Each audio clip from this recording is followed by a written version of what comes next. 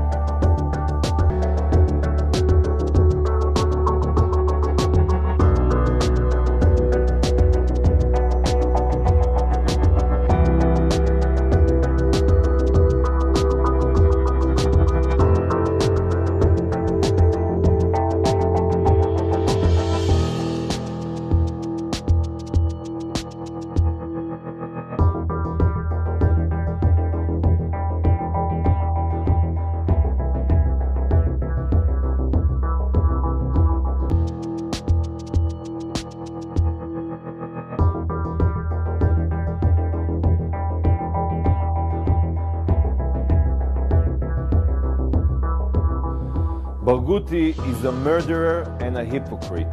While he was urging his fellow terrorists to remain steadfast in their strike and encouraging others to join, he himself was sneaking food behind their back.